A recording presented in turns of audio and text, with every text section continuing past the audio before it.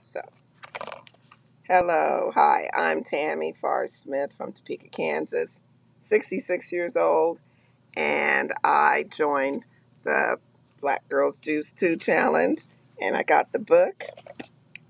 What I really loved about this challenge is how easy it was. I didn't know anything about juicing when this started. I just said green stuff, mm, okay. but um, I found it very fascinating, very easy to get into.